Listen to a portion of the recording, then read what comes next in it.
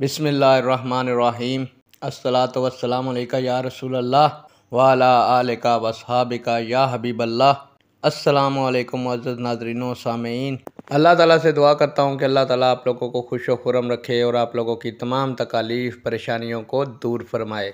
रवादारी के लफ्ज़ी मायनी क्या हैं? उम्मीद करूँगा कि ये मालूम आपके इलम में इजाफ़ा फरमाएगी और आप इस वीडियो को शेयर करेंगे, चैनल को सब्सक्राइब करेंगे। ताकि दूसरे लोग भी इस मालूम से मुस्तफ़ हो सकें। प्यारे दोस्तों, बढ़ते हैं वीडियो की जानब। रवादारी के लफ्ज़ी मायनी हैं बर्दाश्त करना। दोस्तों, इससे मुराद है कि जब कोई बात पसंद ना आए तो उस पर गुस्सा या झगड़ा ना किया जाए, बल्कि उसे सब्र से बर्दाश्त कर लिया जाए। क्योंकि ये ज़रूरी नहीं कि हमारी हर बात या दूसरे की हर बात हमें काबिल बर्दाश्त और हमारे मजाज के मुताबिक हो। नेक दुआओं के साथ आपसे इजाज़त चाहूँगा। अल्लाह ताला आपका और मेरा हामी नासिर हो। अल्लाह हाफिज़।